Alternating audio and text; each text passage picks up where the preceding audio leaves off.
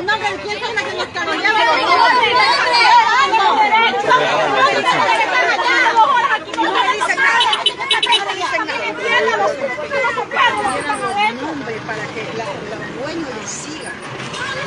Retomamos la transmisión desde el exterior del CRS Bellavista, donde hace pocos segundos salió una ambulancia del Ministerio de Salud Pública con un privado de libertad herido. No sabemos las condiciones, el estado de salud ni la identidad de esta persona. Sin embargo, eso volvió a avivar los ánimos de las personas que se encuentran en el exterior de la cárcel, quienes solicitan, exigen información de sus familiares.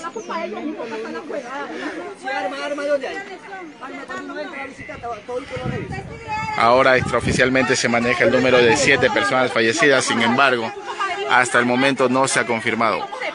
Este, eh, no se ha confirmado esta cifra ni las identidades de las personas que han sido fallecidas. Sin embargo, la ambulancia ya salió hace pocos segundos, ya salió. Aquí las personas escuchamos como las personas están reclamando y exigiendo respuestas a las autoridades que se encuentran aquí y al personal policial también. Hijo tiene. Ah, o no tiene, no tiene familiar usted que le duele lo que uno no, no está pasando por acá adentro. No les duele a ustedes. Ah, no tienen familiares. Pónganse su mano en su corazón. Desde cuando se fueron ahí no sabemos ni a quién llevaron, a, a, cómo se llaman. información, por favor. No creo que no tengan, que tienen corazón ustedes, yo creo.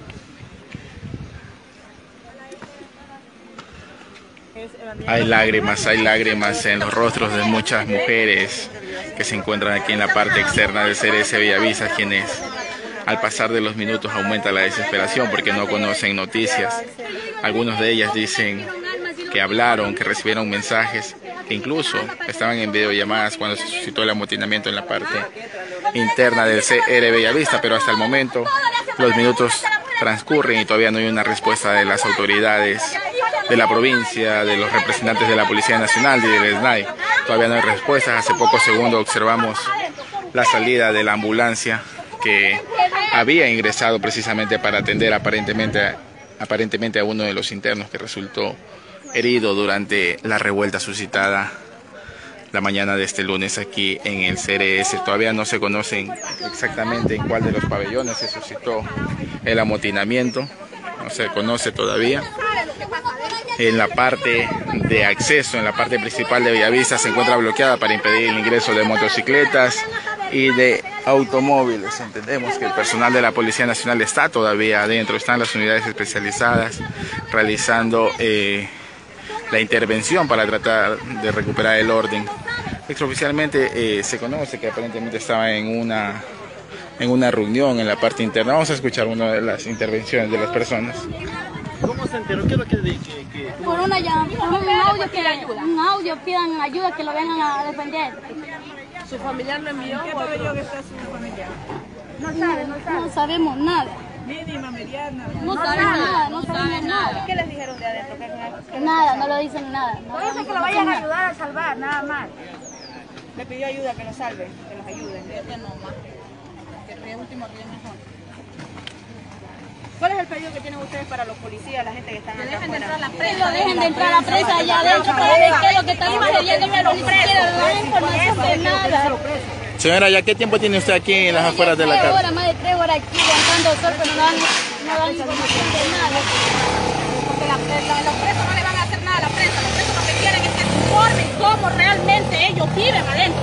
Cómo se, se hacen los problemas adentro y ellos no dicen nada. Los policías no hacen nada. Pero para pegarle a una mujer embarazada se prestan. A mi hija me le pegaron. Para eso sí se prestan. Para eso sí tienen huevos. Pero para meterse adentro no tienen huevos. Les falta.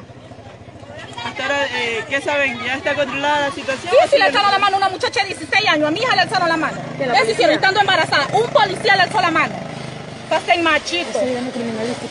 ¿Hace qué tiempo no tiene contacto con su familia? Dos horas. Y, eh, dos y el horas. último contacto, ¿qué le supo indicar él? Que estaban matando a la gente adentro. ¿En qué pabellón es? No lo sé. Bueno, se ha confirmado, ya con este arribo se ha confirmado la, la existencia de personas fallecidas. Observamos el ingreso de la ambulancia de medicina legal y observamos también una de consulting room, eh, aparentemente para atender a heridos. Todavía no ha salido ninguna autoridad a dar un pronunciamiento oficial, pero con el ingreso de la ambulancia de medicina legal se ha confirmado prácticamente eh, la existencia de personas fallecidas. A plena. ¿Y a qué hora le dijeron que estaba sucediendo esto? A mí me hace tres horas que yo estaba en la casa. Ahí- ahí me dijeron. Sí. Durante el tiempo que usted ha estado aquí no ha escuchado disparos, desmanes no. en el interior. Sino que antes ya, como mi yerno también está preso, ahí también mi yerno me mandó un, ya como me llamó y que, que vengan, que vengan las hermanas a visitar a verlo porque está matándose. Y Le confirmaron ellos que habían Sí, muerto. Por eso yo me vine, mi hermano como está ahí Decían que estaba rompiendo las paredes, ¿qué escucharon? No sé, no sé si no sé. En todo caso aquí no, nadie ha salido a darle una respuesta No, oficial. no, nada, ni, ni sé. La vez Dice, pasada, dice que estuvieron eh, con una actividad deportiva, una competencia. No sé eso sí, no sé. Sí. la vez pasada usted también estuvo aquí. lo que No, no. No después ahí. Ni para qué mentir. Claro, porque la semana anterior también se generó un desmán. Yo estaba en viaje, estaba andando por otro lado. Sí. Ya. Amigo, ¿Por qué no entra la prensa para ver? No nos dejan, No nos sé. dejan entrar. Tiene que entrar para que salga para que usted se informe. Bueno, eh, son varios criterios de familiares que se encuentran en los exteriores del CRS Bellavista. Como vuelvo y repito, todavía no hay un pronunciamiento oficial, pero hace escasos minutos se evidenció, se observó el ingreso de la ambulancia de medicina legal a la parte interna, aparentemente a recoger cadáveres de personas fallecidas para hacer el traslado respectivo hacia el centro forense de Santo Domingo. Prácticamente estaría confirmado eh, la existencia de PPLs fallecidos. Extraoficialmente se habían dicho primero que eran cinco, después siete. Todavía ese dato no ha sido confirmado por ningún representante, del SNAI ni de la Policía Nacional. Hay preocupación, hay desconsuelo, hay lágrimas en muchos familiares de los privados de libertad quienes exigen respuestas.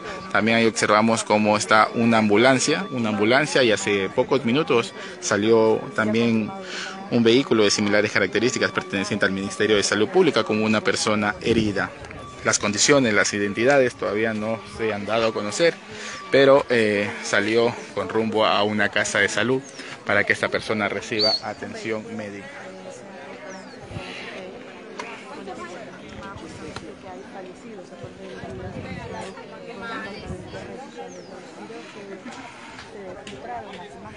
Aquí en la parte externa observamos la presencia de varios eh, miembros de la Policía Nacional. Entendemos que en la parte interna se encuentran integrantes de unidades élites, probablemente también miembros de las Fuerzas Armadas para restablecer el orden en la parte interna. No se conoce todavía con exactitud en cuál de los pabellones se desarrolló el amotinamiento, este amotinamiento que ha dejado víctimas mortales, sin embargo el número exacto de fallecidos eh, no se conoce. Recordar que en el presente año ya son varios los hechos violentos que se han dado aquí en el interior de la cárcel de Santo Domingo. El 9 de mayo precisamente eh, se registró, la mañana de un lunes 9 de mayo, se registró un hecho lamentable, un hecho de mucha violencia, una masacre se podría llamar, eh, donde fallecieron 41 privados de la libertad. Muchos de ellos eh, fueron decapitados y mutilados, cuyos cuerpos fueron identificados después de varios días en el centro forense de Santo Domingo. Esperemos que la magnitud de aquel evento no se repita la tarde de este lunes y que sea mínimo el número de víctimas y que en todo caso no se replique eh, la problemática en el interior de la cárcel. Aparentemente pugna entre integrantes de diferentes organizaciones sociales es lo que aumenta la crisis carcelaria acá en Santo Domingo de los Áchilas. Son varios los muertos eh, que se han dado en el transcurso de los tres últimos meses y el día de hoy. Aunque todavía no existe un pronunciamiento oficial, se ha podido ya comprobar que hay personas fallecidas por el ingreso de la ambulancia de medicina legal, la misma que arribó acá al punto hace aproximadamente unos cinco minutos.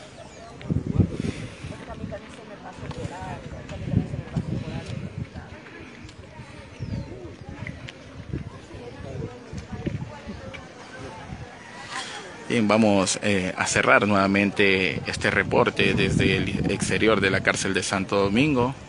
Eh, lo último que se ha evidenciado y se ha comprobado prácticamente es el ingreso de la ambulancia de medicina legal. Por aquí observamos que ingresan más miembros de la Policía Nacional. Para sumarse a la contingencia que se realiza en el interior. Entendemos que en este momento ya los, eh, los peritos, el personal especializado se encuentra haciendo el levantamiento de los privados y posterior traslado hacia eh, Centro Forense de Santo Domingo. Nos vamos a mantener aquí atentos para conocer eh, las novedades a, a futuro, ¿no? Recordar que la semana anterior también se reportó un intento de amotinamiento en el interior de esta cárcel y esto provocó el traslado de varios eh, privados a diferentes centros carcelarios del país. Eh, durante este procedimiento se generó un desmán en la parte externa, precisamente hacia donde vamos a apuntar, un poquito más arriba del carro de la de las Fuerzas Armadas. Eh, aparentemente estos privados trataron de eh, violentar las seguridades del bus que los movilizaba y ahí se generó un enfrentamiento entre uniformados, ellos y algunos familiares que trataban de impedir el operativo.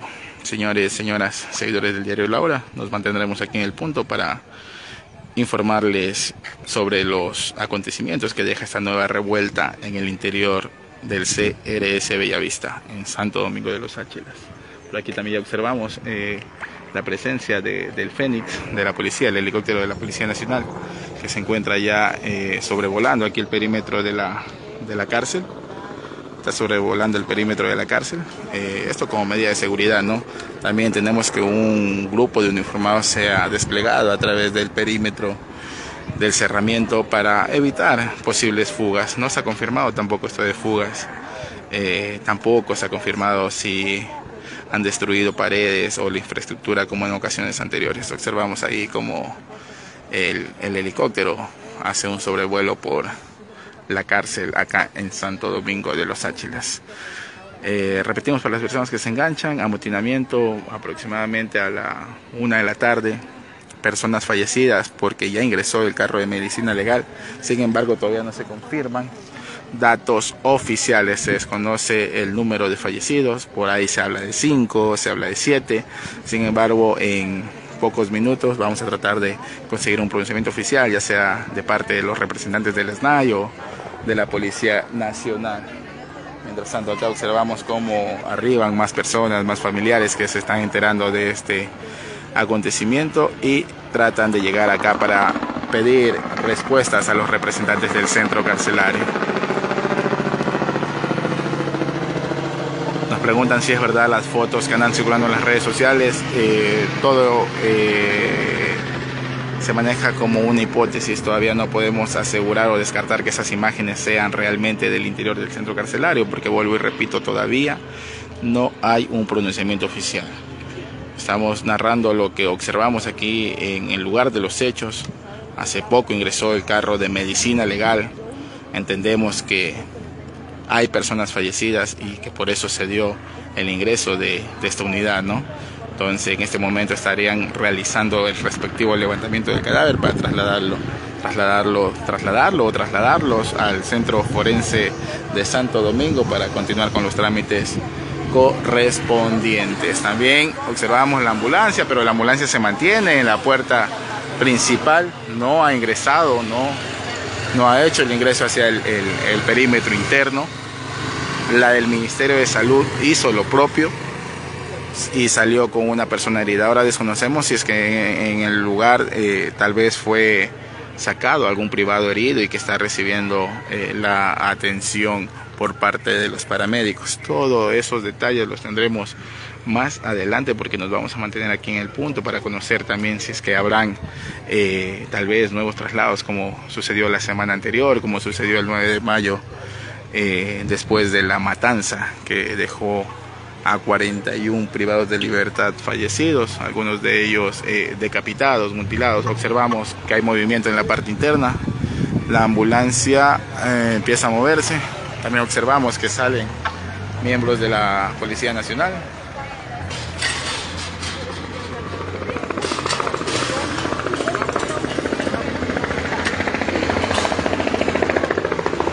Podemos observar el helicóptero que sobrevuela el perímetro de la cárcel. No se ha confirmado fugados, hasta el momento no se ha confirmado, acá el movimiento en la parte de afuera es en lo que cabe tranquilo, sin embargo se está haciendo un perímetro, vamos a preguntar, a consultar si es que tal vez eh, alguno de los privados evadió el control durante los amotinamientos y tal vez por eso se el sobrevuelo que se escucha en estos momentos afuera de la cárcel. El helicóptero vuela muy bajo, vuela muy bajo el helicóptero por la maleza existente. Eh, lo que haría pensar, ¿no? Que sí hay personas fugadas. Sin embargo, esto vamos a confirmar en breves minutos. Aquí observamos el retiro de la ambulancia. El retiro de la ambulancia aparentemente lleva a una persona herida. Eso.